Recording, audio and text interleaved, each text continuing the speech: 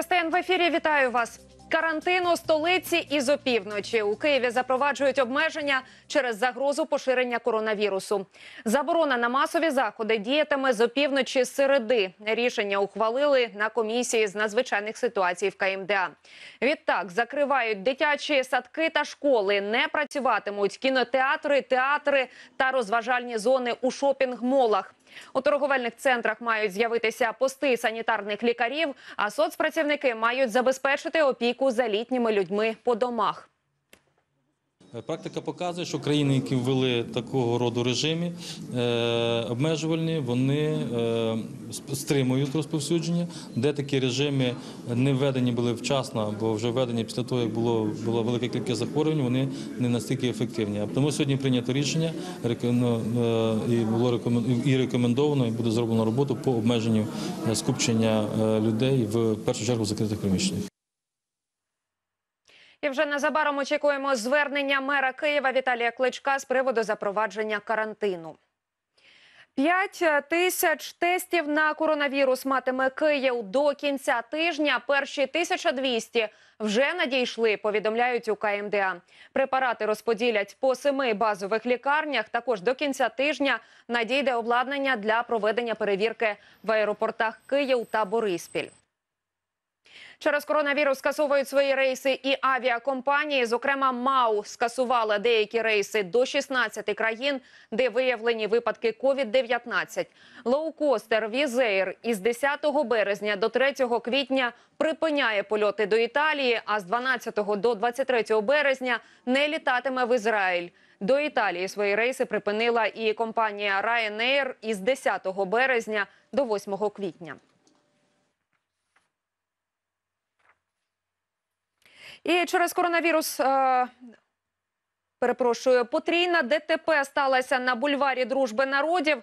Зіштовхнулися два легковики та мотоцикл. За даними ДТП Київ.UA, всі три транспортних засоби їхали в напрямку лівого берега. Водії не встигли зорієнтуватись, коли одна з машин пригальмувала. Травми в аварії отримав байкер. Його забрали до лікарні.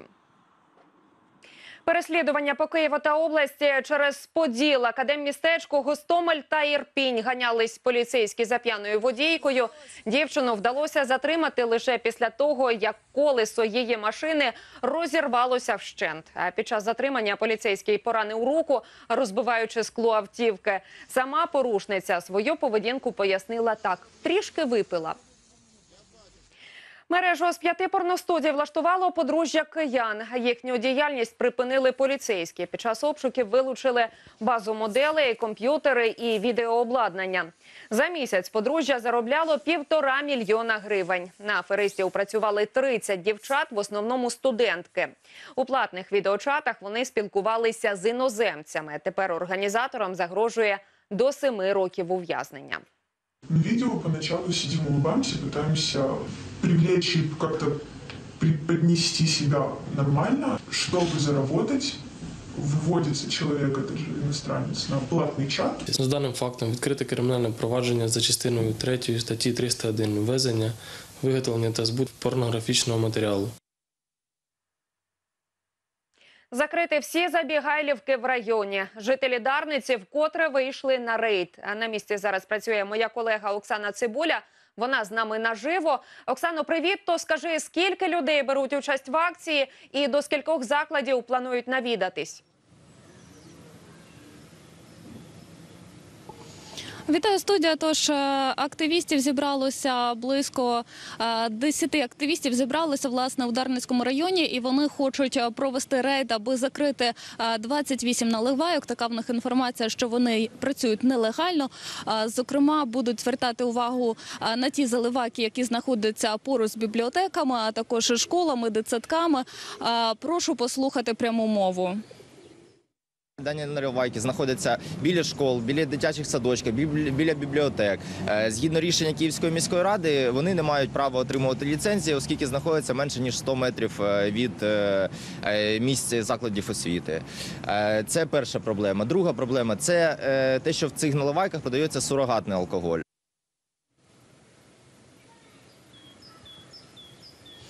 Також додам, що ми вже побували в одній наливайці. Вона власне знаходиться. Ось ви зараз е, прошу оператора показати. Е, Ось тут знаходиться під назвою магазин, і тут е, розливають алкоголь, продають на розливи. Власне, поруч знаходиться бібліотека. І зараз, ось буквально за якихось 50 метрів, буде знаходитися власне дитсадок. Тут граються діти, і тут постійно можна бачити п'яних е, чоловіків. Тож така ситуація. Документ ніхто не показав. Е, Активісти запевняють, що боротимуться доти, доки не закриють ці е, наливайки. Студія. Спасибі, Оксану. Оксана Цибуля про рейд активних жителів ударниці проти забігайлівок. Конфлікт в одному із супермаркетів Києва хотіли змусити дівчину заплатити за товар, який поцупив хтось інший. Відео опублікував інформатор. Видання розповідає, напередодні ввечері дівчина прийшла в магазин за покупками, взяла в пакет м'ясо, але на вагах, як стверджує сама, помилково вибила капусту і пішла на касу самообслуговування.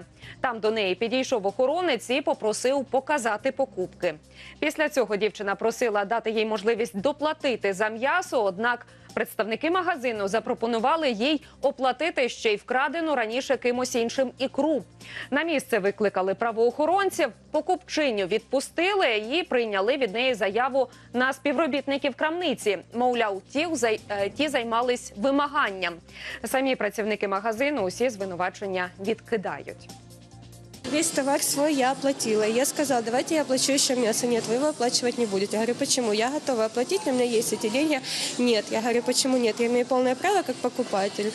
Нет, мы не будете платить, вы будете пла- писать заявление, то, что вы украли. Я говорю, я не украла. И вот мне они сказали, мы можем не вызывать полицию, сделать все тихо, мирно, вы просто покупаете мясо, оставляйте у нас, и мы его спишем, вот этот минус за эту икру. І до подій на сході країни троє військових загинули на Донбасі. Семеро поранені. Ще двоє отримали бойові травми. Повідомляють у штабі ООС. За добу бойовики відкрили вогонь 17 разів. Атакували переважно у Пісках під Донецьком. Там ворог напередодні поцілив у вантажний автомобіль одного із підрозділів збройних сил України.